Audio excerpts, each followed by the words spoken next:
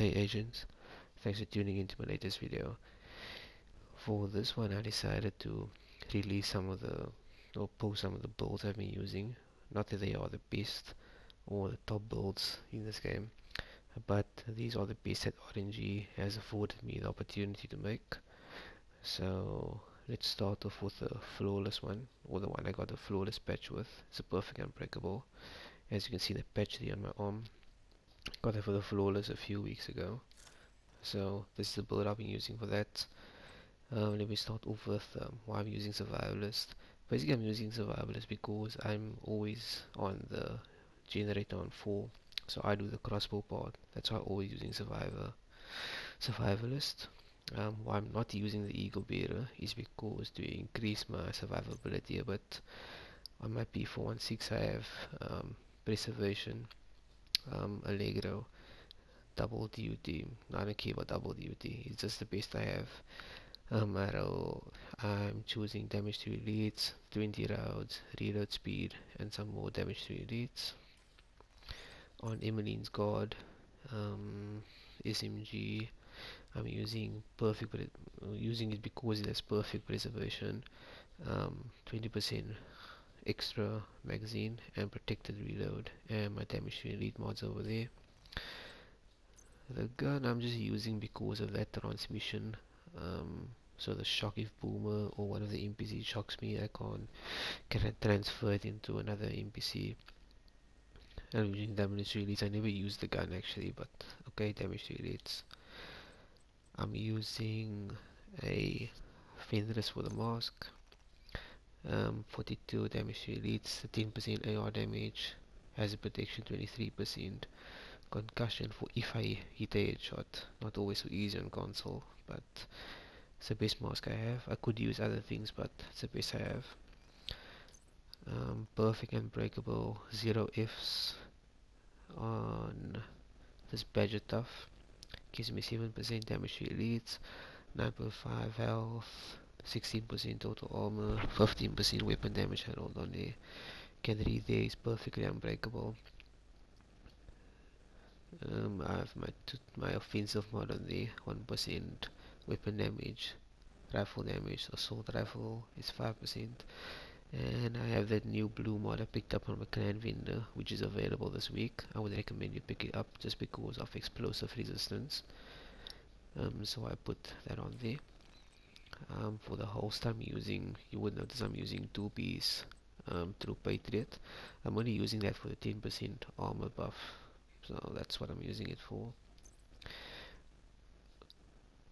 I've selected 40% uh, health and I had 3% on it. So I thought health would be the better option to put on there. Um, my two offensive mods you can see there. I'm using a killer for the knees total armor 11% um, that's the best that I could find. I have my damage to elite on there because I need it. And I have two more of those mods I purchased from the from the clan vendor level 30 clan vendor. I would recommend you do the same. Um, True Patriot Glove to fill out the two piece for my total armor. There's 12% assault rifle the 10 health on there and another um, offensive mod. I don't have another 5% mod, so that's the best one I have. And the only reason I'm using this ongoing directive backpack, the only reason is because of that total armor. Um, the good armor roll plus the total armor and hardened. Um, it pushes up my uh, my armor quite a bit. Um, you can see I have offensive mod on there and utility which I use for the 3% reload, reload speed helps a bit so what I was actually using before I before I was using this ongoing directive the biggest change I made was from this backpack. I used this one for quite a few months because of the 10% weapon damage. So I take a bit of a hit on that um, but as you can see there the if I use that I'll go down to 345 if I co-op a mod it'll go up a bit but it won't reach 407 so that's what I was using there. Uh, let me just have a look here show you the stats on this one. There's no this this is no crit build so there's no crit on the basically. 21% all weapon damage. 60% assault rifle. And there you can see all the places where I have um, those mods and stuff on where it comes from 87% um, damage to elites perfect unbreakable concussion. Max health. Health regeneration. Protection from elites that comes from survivalist explosive resistance that comes from the um, the new mods I have. Hazard protection. There isn't much a protection on here so this is not a DZ build. It's only for the raid and that's about it guys. I don't that's about it for for this build. So like I said it's not the best one available.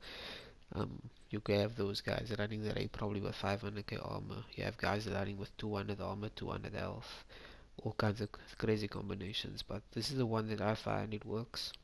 Um, it, it works even better than the old one I have. And that one had uh, less armor and I had patience on, on the knees my damage to elites was somewhere else my second portion of it. So that's basically the raid build. Um, 9 12 1 4 7 armor 87 health. The skill power doesn't matter. I'm just using the reviver to pick me up if I if I should go down especially on the razorback. And I'm using the Chem launcher um, because I use a lot of cover in Buddy and Lucy and on razorback. I'm on the generator a lot so that's why I use a Chem launcher if I need it. So that's build guys. Um, I'll cover I think I'll share my bloodsucker ones with you next but that's it for this one. Adios.